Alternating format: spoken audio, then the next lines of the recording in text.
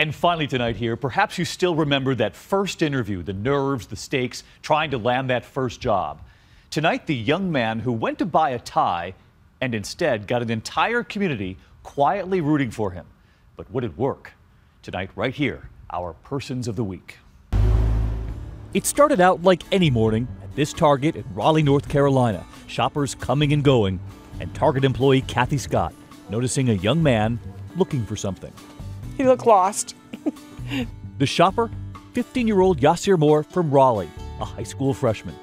I went to Target to get a clip-on tie. And I said, we didn't have any clip-on ties, but what did he need a tie for? And he said he was going for his first job interview. A job interview at Chick fil A. His mother had insisted he wear a tie. I was nervous because they didn't have any clip-on ties, and I didn't know how to tie a tie. My mom didn't know how to tie a tie. Enter the team at Target.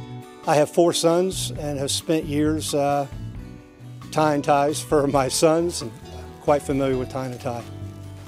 They not only helped him tie his tie, they helped him prepare. Make sure you talk slowly, Sit up straight, firm handshake. look them straight in the eyes. It's time for you to raise the roof and tell these people exactly who you are, what you're made of, and you're the right person for the job.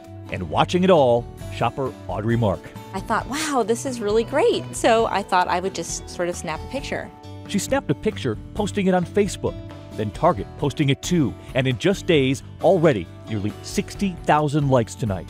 We really don't expect those kinds of sweet moments to happen, certainly not in a big box store, certainly not down aisle 11. You ready? His mother taking this home video for his final interview. I'm proud of you, Yasir. Yasir going back one more time, tying that tie. A short time later, he shows up, having no idea we were across the room. He was keeping eye contact with the boss. So I appreciate you coming in this evening. Then we moved in for the final moment, We are ready. offering Yasir the job. And who else was there? The team from Target. Tonight, that student from Raleigh ready, Ready to get to work.